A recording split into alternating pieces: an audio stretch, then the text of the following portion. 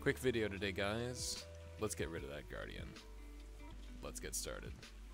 So let's go in to our Steam VR menu. I will get rid of this uh, because otherwise it'll be really confusing.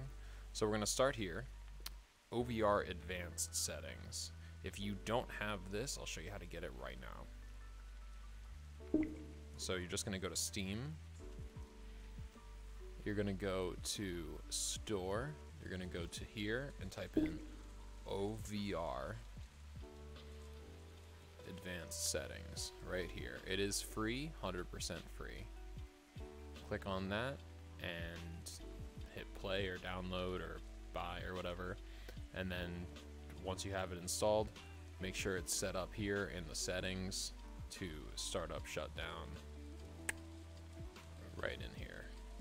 Now that we're in OVR advanced settings, we just want to go to chaperone here and click the disable chaperone button.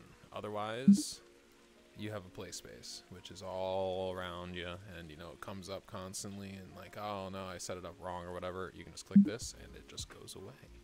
And one final pro tip before I leave you today: we just have to go to video, and uh, people who buy those um, blue light filters, you don't actually need that. You can just go to video settings here, and just crank your blue light down 75, 80, 90% even, whatever you're comfortable with, and you can add your own blue light filter. Hope this helped you out. Have a great day. Peace.